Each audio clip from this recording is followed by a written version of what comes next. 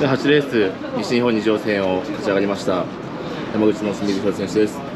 疲れ様でした。はい、今日先行になりましたけども、もともとの組み立てはいかがだったでしょうか？た。いや、まあ、大した策はなかったので、まあ、いつもそんな作戦は考えないんですけど、まあ、出たなりに走ろうかなって感じでした。走りながら先に切りに行くっていう。そうですね、谷口さんが上昇してきて、まあ、朝日も上がってきてたんで、切って谷口さん待とうと思ったんですけど、まあ、泳がされたんで、あのまあ、腹くくってあげました。まあ、気持ちのこもった先行で、まあ、桑原選手がまあ仕事してワンツーって形でしたけどもそうなんとか川さんと決まったらよかったですね。はい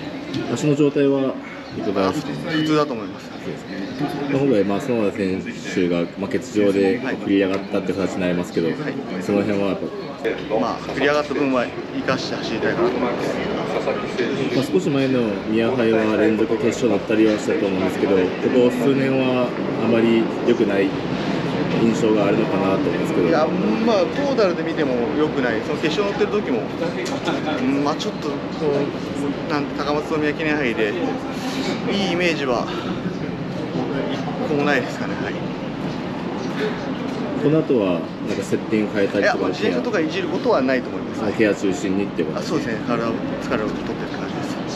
では準決勝、そのその後の挑戦力で意気込みをよろしくお願いしますまあ、しっかりあの勝ち上がって、まあ、決勝に乗りたいですね。はい